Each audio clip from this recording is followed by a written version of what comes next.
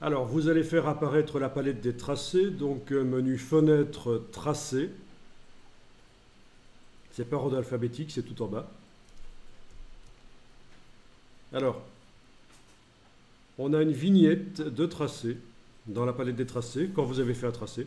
Bon, là, je vais supprimer celui-là et je vais en refaire un meilleur quand même.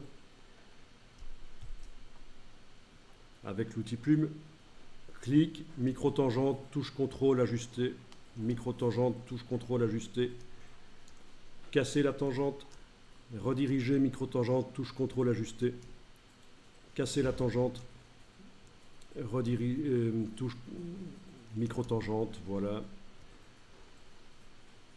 Et voilà, bon, un tracé, bien pur, nickel.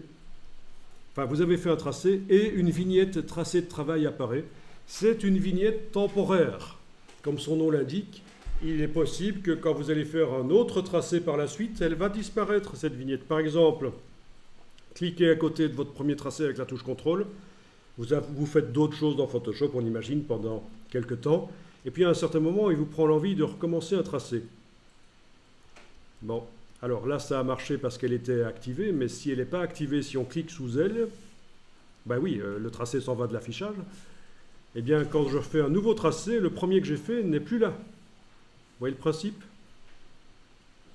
Voilà un tracé de travail. Si je clique sous la vignette pour ne plus voir le tracé et que je fais un nouveau tracé, eh bien le premier tracé que j'ai fait n'est plus là. C'est temporaire. Donc, il faut penser, quand vous avez fait un tracé et qu'il apparaît sous forme de tracé de travail et que vous voulez le conserver, il faut penser euh, ben, soit vraiment à activer le tracé avant d'en faire un deuxième, comme ça le premier tracé que vous avez fait reste là, ou alors il faut le convertir en tracé permanent en le prenant et en l'amenant sur le bloc de feuilles. Et là, il ne s'appelle plus tracé de travail, il s'appelle tracé 1.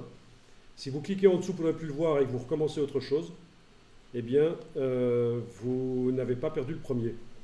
Donc pensez à ça. Si on a un tracé de travail, qu'on clique en dessous et qu'on en refait un autre, celui-là va disparaître.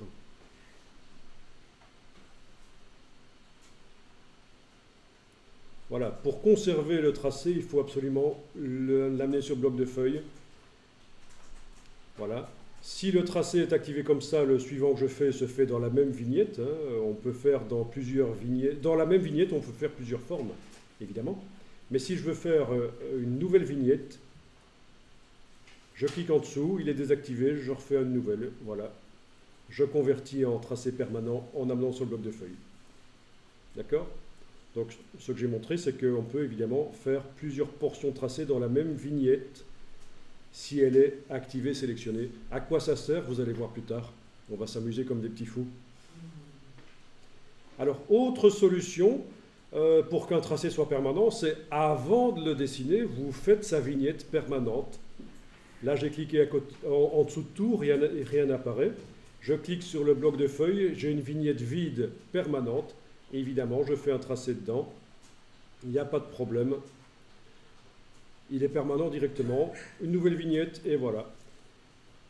Donc vous avez les deux méthodes. La conversion d'une vignette temporaire en vignette permanente ou directement créer une vignette permanente en cliquant sur le bloc de feuilles dans le bas de la palette des tracés.